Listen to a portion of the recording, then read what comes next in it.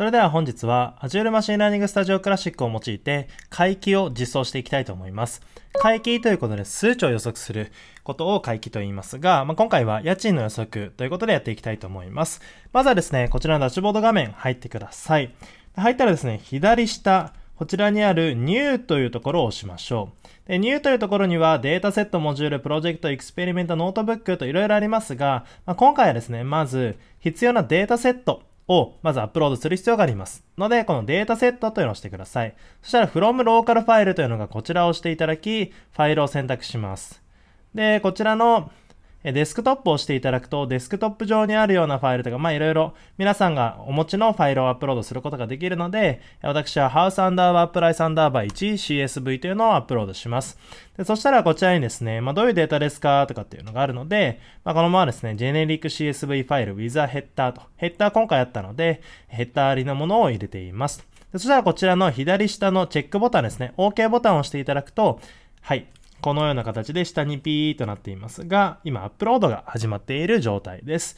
で、これでまずはデータセットをアップロードしましょう。で、アップロード完了すると右下に OK と出てくるので、こちらを押していただくと、えデータセットの中に、このようにハウスアンダーバープライス 1CSV というのが入ってきています。これでデータセットのアップロード完了です。皆さんデータセットアップロードできましたでしょうか？そしたらですね、 New を押してください。え次はですね、まあ、プロジェクトっていうのが一つのフォルダみたいな形だと思っていただければいいんですけれども、まあ、今回この Experiment というのを使います。でこの Experiment というのは、いわゆる実験台ということで、まあ、回帰を実装する上での土台、いわゆるその実装環境みたいなものが一つが Experiment だと思ってください。で、その Experiment を束ねるのがプロジェクトと思っていただければ、まあ問題ないかなと思います。なのでこの Experiment をまず押しましょう。で、 Experiment でいくいろいろあるんですけれども、まずはこの Blank Experiment ということで、えこちらを用意します。そうするとこのような画面になりましたが、いかがでしょうか？はい。ちょっと右側閉じます。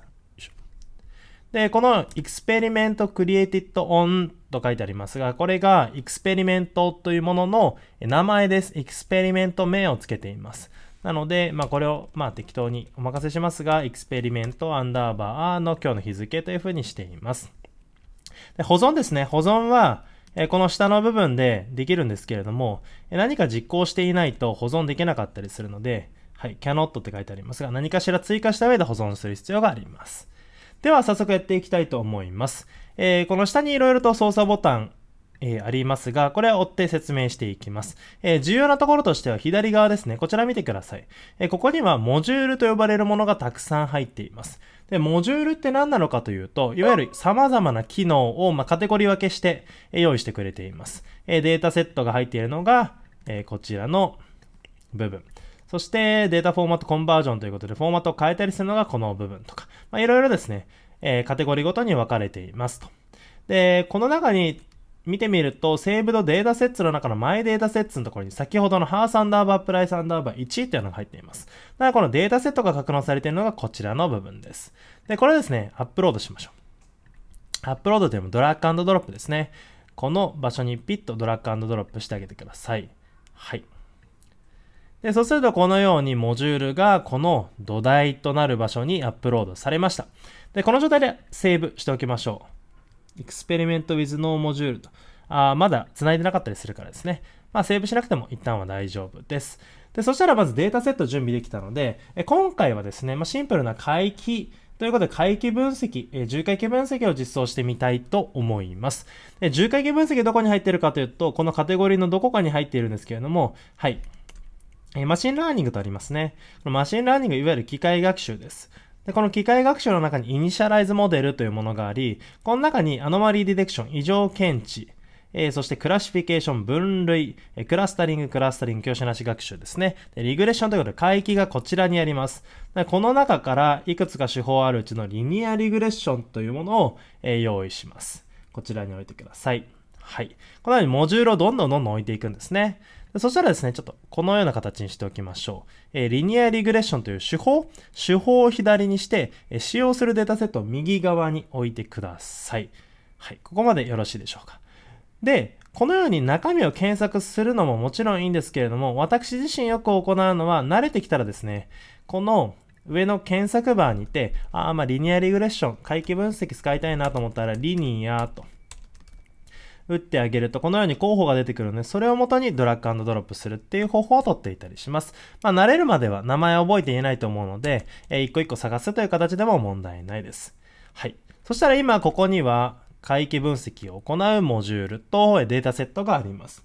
で、これだけでは何も始まらなくて、これに対して実際に学習を行う必要があります。まあ、いわゆる計算してもらうということですよね。で、計算してもらうためのモジュールが必要でして、それがトレインモデルというものになります。では、検索バーで検索してみましょう。トレインモデルとしてください。そうするとこのようにトレインモデルというのが出てくるので、このアルゴリズムとデータセットの間に置きましょう。はい。いかがでしょうか？ドラッグドロップですね。はい。そしたらですね、このままでもまだダメで、何をするかというと、はい、学習しますよと。えー、何を学習するのかというと、えー、実はここのモジュール同士をつなぎ合わせる必要があります。このトレインモデルというものには、つなぎ合わせるものが2つありまして、どういうアルゴリズムを使って、どのデータセットに対して学習を行うのかという2つですね。で、どこにつなげるかというと、リニアリグレーション、回帰が、はい、ここ見てください。ここ緑になってますよね。緑に。この緑の部分につなぎ合わせてください。で、最初つなぐの、実はちょっと難しかったりするので、えー、慣れてみてください。で、右側、はい、ドラッグドロップ、この緑の部分、データセットは右側につなぎます。そうすると、これで、はい、設定ができますよと。はい。そしたらですね、ここの部分におそらく×印もしくはなんかびっくりマークみたいなのが出てくるかもしれません。私自身はなぜか画像マークになっていますが、value required と出てきています。で、こちらですね、えクリックして、え右側、右側のツールバー開いていただくとサイドバーですね。このようなものが出てきます。えー、うまく設定ができていない時には、この部分にですね、まあ、警告マークみたいなのが出てくるので、そちらをクリックしてみましょう。で開かない場合は、右側のこちらのサイドバーのこの部分を押していただくと閉じたり開いたりできます。で、これ何かというと、まあ、実際にデータセット入れたけれども、結局今回何を予測したいのと、どの列に対して回帰をしたいのというのを決めていないんですね。つまり出力変数、まあ名前から言うと教師データというのが決まっていません。なので、このローンチカラムセレクターの部分を押していただき、ここでどの値を予測したいのかっていうのを入れてあげる必要があります。で、今回データ見ていなかったですが、実はカラムが X1 から X6 とプライスというものが用意されていました。で、実際に今回予測したいのはもちろん価格なのでプライスに当たりますが、一旦ですね、閉じていただき、実際どういうデータが入っていたのかも一応確認しておきましょう。右閉じていただき、このハウスアンダーバープライス 1.csv を右クリックしてください。そしたらこのデータセットというのがありますよね。えー、右クリックしていただいてデータセットというのがあるので、データセットを押すと、えー、ビジュアライズというものがあります。でこのビジュアライズを押してください。これはデータセットをビジュアライズ、可視化しますよということです。そうすると今回用いているデータセットが入っています。で、左上には100行7列のデータセットですよということで、カラム名がこちらに X1 から X6 が、まあ、いわゆる入力変数で、プライスが出力変数にあたります。ということでデータがあります。でこのように実際にどういう分布、データがどういう分布なのかというヒストグラムを見ることもできますし、非常に便利なのは、このように押してあげると、この右の部分にスタティスティックスということで統計量が出てくるんですね。え平均どれぐらいですよ？そして中央値どれぐらいですよ？最小値、最大値どれぐらいですよ？という値がここに出てきています。よろしいでしょうか？はい。で、そしたら、まあ、データを見ることができたので、あ、こういうデータなんだなというのを元にして、えこちらを押して右ですね。開いてみましょう。で、このローンチカラムセレクターというのを、押して、この右側セレクティッドカラムズのところに出力変数、教師データとなるものを右側に移動してあげます。で、これはですね、この矢印ボタンを選択した状態、プライスを選択した状態で矢印ボタンを押してください。そうすると右側にプライスが映るので、今回はこれを出力変数にしますよということで、右下の、はい、部分を押しましょう。そうすると、このバリューリクワイアだというのが消えましたよね、この部分。で、右閉じましょう。で、これでざっくりとした流れというか、学習を行うというところまでは完了です。で、学習を行うところまでではダメで、この後実際に予測するっていうところで、最終的に評価するっていうところまで必要です。まあ、予測というのはつまり推論ですね。はい。で、これを行うモジュールを入れてあげる必要があります。なので大きく分けてあと2段階必要です。では行きましょう。えスコアとしましょう。そうすると、 Score Model というのがこの部分に出てきます。え Machine Learning の中の Score の中の Score Model です。でこちらを、はい、この部分にアップロードしましょう。ドラッグドロップですね。はい、これがいわゆる推論を行うモジュールです。でこれつなぎ合わせるのは、はい、ここで今学習しましたよと。で、学習したら学習済みモデルができるので、それを用いて推論しますよということで、このトレインモデルとスコアモデルの左をつなぎ合わせましょう。はい。で、ちょっと一旦話それますが、この部分はちょっと見にくいので、この左下のこのマークとか押してあげると、ピッと、はい、フィットさせてくれます。画面全体にフィットさせてくれます。でちょっと大きいなという場合は、このようにマイナスボタンとかを押してあげるといいかなと思います。で、もう一つですね、右側をつなぐ必要があります。これは何かというと、え推論するにはもちろんデータを入れる必要があるので、データをこのスコアモデルに入れてあげる必要があります。でこのハウスアンダーバープライス1というのをこちらに入れて、そうすると、はい、警告マークが消えました。で、このようにモジュールをつなぎ合わせてください。でこれでもう推論を行うというところまでできました。で、最後はその推論結果をもとに結局良かったのか悪かったのかっていう評価をしてあげるところを、えー、モジュールとしてドラッグドラップしてあげましょう。それがですね、スコアと書いてありましたが、えっと、イバリュエイトとしてください。そうすると、 Evaluate Model というのが、 Machine Learning カテゴリーの中の Evaluate カテゴリーの中に入っているので、下に置きましょう。で、この Evaluate Model というのは、え Score Model のこの推論結果をもとに結局良かったのか悪かったのかっていうのを評価したいので、こちら左につなげてあげましょう。で、これでもう何もエラー起きてないですよね。ただ今までと違って、なぜか Evaluate Model 右側にもこの丸ポチあるのにエラー起きてないです。はい。これ何かというと、まあ、後ほど使っていきます。まあ、次の動画以降で使っていくんですけれども、え評価を行う際に、一つのモデルの評価だけではなくて、え二つのモデルを評価した上でどっちがいいのっていうのを比較したい場合ありますよね。まあ、そういった場合に、この右側も使ってあげます。なので、まとめて2つ評価をするためっていうところで、え覚えておいていただければいいかなと思います。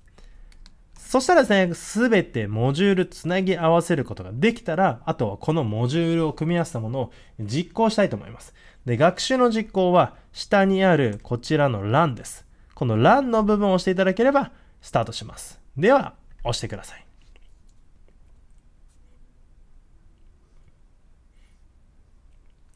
はい、そうするとですね、ここに、弓道たりランニングというのが出てきてます。今、学習実行中ですよというところですね。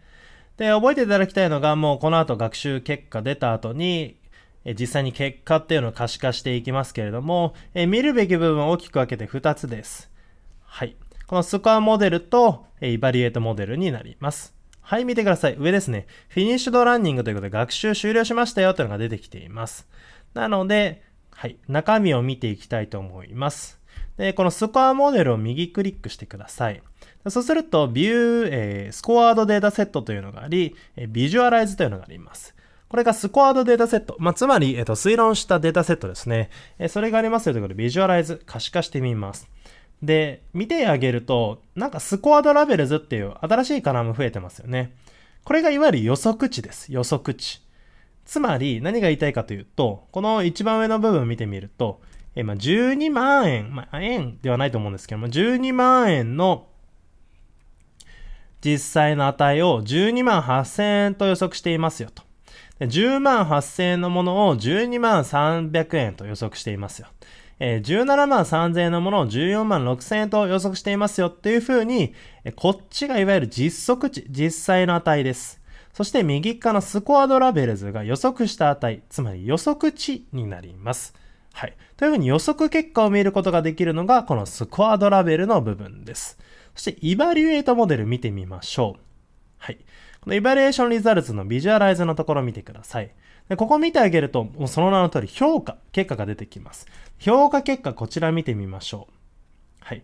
ミーアブソリュートエラーとか、まあ、いろいろ出てます。メトリックスでの指標です。評価の指標って一つだけではなくて複数あります。で、ここに評価の指標がいろいろと出ていますが、まあ、重要な部分としては、こちらのミーンアブソリュートエラーの部分と、あとはまあコフィーコーエフィシエントオブディターミネーションかなと思います。えミーンアブソリュートエラーは平均絶対誤差です。つまり、えっと、誤差を取りますと。で、誤差って取り方によってはマイナスになってしまったりするので、絶対値をつけることで全てプラスにします。で、ミーンということで平均を取ることで、まあ、1件あたりどれぐらいの誤差が生じているのかと。実際の値と予測した値、実測値と予測値の誤差が平均でどれぐらい出てるんですかというのがこちらに記載されています。で今回で言うと、まあ、1万2000円ぐらいですね。で、もう一つ重要なのが、まあ、結局この誤差がでかいのか小さいのかって正直わかんないじゃないですか。なので、コーエフィシエントオブディターミネーションというのを見てあげます。これは何かというと、決定係数と呼ばれるもので。これ非常に重要です。0から1で表す指標でして、0だと全然ダメ。1だと最高ですよっていう、まあすごいシンプルな指標です。で、この中で言うと0.54というのは、まあ良くも悪くもないよね。まあかといっていいわけでもないよねっていうぐらいの値になっているのがわかるかなと思います。はい。というふうに、このメトリックス見てあげると、結果良かったのか悪かったのかっていうのをしっかりと可視化することができるので、このようにしてあげるだけでもうパパッと回帰を実装することができるわけなんですよね。はい。いかがでしたでしょうか？はい。ひとまずですね、今回はまず回帰をパパッと実装するというところまでお伝えしたんですけど、え次の動画以降で、まあ、これをじゃあどうやって精度を上げていくのかというところとかも一緒に見ていきたいなと思います。えー、本日は以上です。お疲れ様でした。今回の動画もご視聴いただきありがとうございます。ぜひですね、高評価、コメントお待ちしておりますので、どんどん記入していただけたらと思います。また、こちらからチャンネル登録できますので、チャンネル登録の方もよろしくお願いします。